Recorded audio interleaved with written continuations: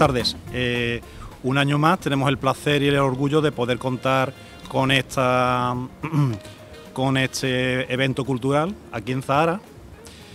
Y bueno, paso la palabra aquí al señor alcalde. Eh, gracias por asistir a este acto de presentación de la cuarta edición del Festival Ya Zahara. Y bueno, simplemente dar las gracias por contar con, por un lado, con los patrocinadores y colaboradores, como en este caso es la, Diputación Provincial, que nos acompaña Nacho, el diputado provincial, eh, a la Delegación de, Cultura de la Junta Andalucía, con el delegado aquí presente a mi lado, Jorge. Eh, también quiero aprovechar para mencionar y dar las gracias a todos los patrocinadores, como en este caso es la Fundación La Caixa, eh, Cruz Campo, Atlanterra S.A., eh, ACOZA, que es la Asociación de Comerciantes de, de Zara de los Atunes, y por supuesto, como le digo a, José Manuel y al, Hotel Tui, porque siempre se lo digo, eh, gracias a ello podemos decir que estamos hoy día celebrando la celebramos la tercera y estamos celebrando la cuarta edición de la de Yazara. También aprovecho la ocasión para resaltar que es una apuesta clara por la, por la promoción de la cultura, por la promoción de nuestra zona y es una lucha evidente contra la, estacionalidad. Por eso ubicamos este evento en una época fuera de la temporada estival, a finales de octubre, con la intención de, promocionar y, hacer que tanto los negocios como los vecinos y vecinas, los, los visitantes puedan disfrutar de este magnífico evento fuera de lo que es la temporada estival. Ante todo, muchas gracias, señor alcalde. Bienvenido, buenas tardes. Eh, gracias, como he dicho, al alcalde, a los patrocinadores, a, la organización, a toda la gente de la Junta Andalucía que se involucra en este tipo de eventos. Bueno, prácticamente Agustín lo ha dicho prácticamente todo, casi todo. Eh, la verdad que una época muy buena para la desestacionalización del turismo y con este evento junto con otros que, ha anunciado él, la verdad que, bueno que, siempre se prolonga más la, estacionalidad aquí en Zahara. Eh, y centrándonos un poco en este evento, la verdad que es un evento cultural con, el deporte donde compenetran y la verdad que es muy buena idea. Muy buena idea y vamos desde la Diputación de Cádiz pues nosotros eh, vamos a seguir apoyando esto, este tipo de eventos, tanto aquí como en otras en otras zonas y poco más. Sinceramente pues vamos a seguir apoyando estos eventos y adelante y seguir así que lo estoy haciendo muy bien. Sara de los atunes y bueno, qué mejor enclave, qué mejor fotografía y mejor fondo que, que este desde el Hotel Twist Zara Beach, por lo tanto muchas gracias eh, José Manuel por, por permitirnos hoy estar, estar aquí. Darle las gracias también ¿no? a, Agustín, alcalde presidente aquí de, de, Zahara de los Atunes, también por, seguir ¿no? creando eventos, seguir apostando por, el municipio, seguir creando y fomentando esta importante oferta cultural que también hace no solo a los zaharaeños, sino también a, todos los gaitanos y todos los andaluces. En definitiva, de la Junta de Andalucía no podemos más que, apoyar este tipo de eventos, tenemos que apoyar la cultura, nuestra consejería es turismo, cultura y deporte, ¿no? y en Zahara de, los atunes se dan la mano esas tres patas mejor que nada, ¿no?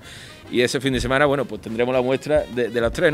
Tendremos la cultura con el jazz, tenemos el deporte con las carreras de, caballo, que también, aprovecho la ocasión, también ayudamos y apoyamos de la Junta de Andalucía. Y bueno, tenemos el turismo, ¿no? Porque, porque Zahara de los Atunes eh, destino por excelencia, no, solo de la provincia de Cádiz y Andalucía, sino me atrevería a decir del mundo entero porque el jazz en Andalucía ha crecido en los últimos 10-15 años, para quien no lo sepa todavía, ha crecido muchísimo, a todos los niveles tanto a nivel de, estudios, porque antes para estudiar ya te tenías que ir fuera de Andalucía, ahora puedes estudiar, cursar estudios superiores en Andalucía también.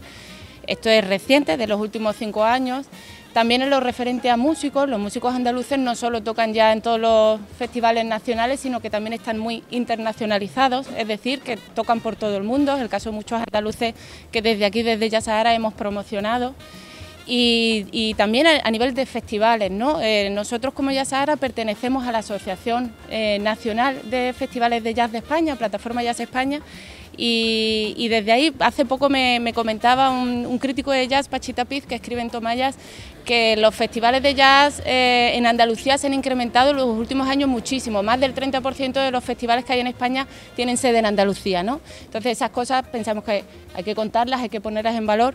Por eso Jazz Sahara sigue apoyando ese jazz andaluz, más de la mitad de nuestra programación es de jazz andaluz, de escena de jazz de, Andalucía, y este año damos un pasito más y, traemos a Zara también primera línea de jazz nacional y de jazz europeo, de jazz internacional que, bueno, que aporta a la, escena cultural de aquí de Zahara pues la vanguardia de lo que se está haciendo en materia de jazz en, otros sitios, ¿no? Y creemos que también es fundamental para seguir nutriéndonos, ¿no? A nuestros músicos y a nuestro público. Lo que hemos programado este año es eh, el viernes y el sábado por la noche a partir de las 8 eh, habrá un programa doble en cada noche. Entonces el viernes 27 tendremos eh, al eh, trío Vida, que es el trío em, formado por José Mi Carmona, guitarrista, hijo de Pepe Habichuela y em, integrante del histórico grupo de fusión flamenca Ketama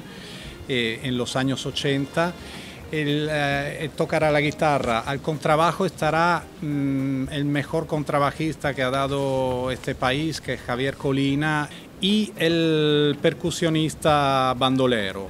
Desiree Diouf eh, presentará su proyecto Más Soul. Ella es una, vocalista ítalo-senegalesa, pero afincada en, en Cádiz desde hace ya unos años. Estamos hablando del, del, baterista Ramón López, del violinista Dominique Piferelli y del clarinetista saxofonista Luis Clavis. Esa misma noche tocará otro grupo, un músico que nos ha gustado mucho y que este año ha presentado su primer disco. Se trata del trompetista gaditano Pablo Castillo. Y eh, el domingo vendrá un quinteto sevillano que se llama Dixie Lab, quinteto muy activo en, eh, en toda Andalucía, en toda España. ¿Qué puedo contar de mí? Eh, yo creo que gracias a este, a este festival, a esta participación, de que estoy esperando mucho de corazón, ya, ya se está acercando el papeleo correcto para ya sentirme más de Cádiz todavía y de la provincia. Ah, en esta ocasión he decidido invitar a dos compañeros míos muy queridos que vendrán directamente desde Verona para acompañarme en este viaje musical en que la propuesta es soul en su, en su esencia, desde los estándares de soul a, algunos temas originales compuestos por mí y por mi compañero Filippo Perbellini, que es un uh, compositor, cantante de primera liga. Eh, lo único que puedo decir es que lo haremos desde el corazón y venimos para pasar un rato de calidad. Nos vemos en octubre. Muchas gracias.